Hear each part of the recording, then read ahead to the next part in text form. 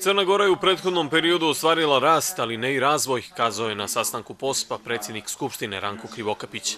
Tu konstataciju temelji između ostalog na podacima o nezaposlenosti, ali i dugovanjima po osnovu poreza. Brojevi su ovakvi.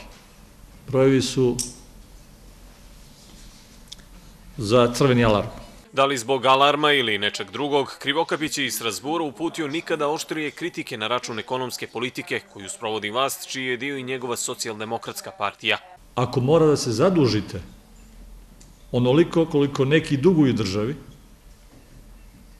da na to plaćate kamatu, onda vi sve što biste mogli uložiti u razvoj, a kamata je jednaka socijalnim davanjem u Crnoj Gori, 70 miliona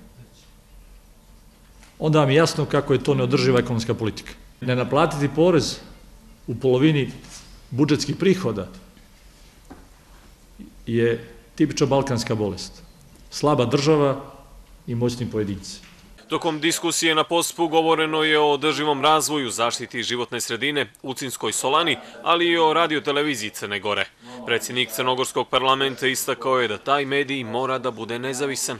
Posebno naglašena potreba da javni servis mora biti nezavisan i da ono i ostaje kao dio problema koji će morati da rešavamo kroz parlamentarni dijalog, da bi čitav proces imao ne samo odnos prema političkim subjektima, nego da bi građani ostvarali osnovno pravo na objektivno i pravovremeno informisanje zbog čega izdvajaju sredstva za javni servis.